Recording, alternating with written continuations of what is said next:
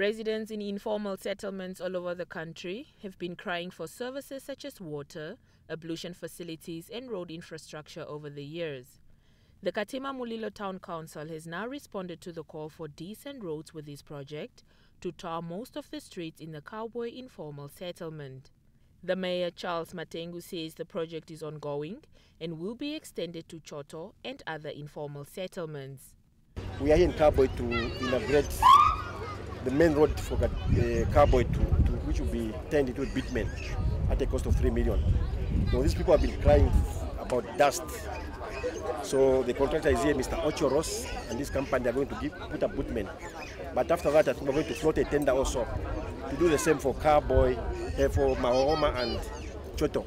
Matengu says, apart from addressing dusty streets, his council is also embarking on the construction of sewage lines in the area to make sure that residents stop using the bush when nature calls. He says the provision of portable water supply has already been addressed as 10 pipes have been installed at most households, taking water to the doorsteps of the residents who used to walk long distances to collect water. After dust, we're going to move on. Like we're busy with clothes, we're trying, going to look at the issue of septic tanks because most of the bushes are now finished. So when nature calls, our people are struggling. So I think that's the way we want to move.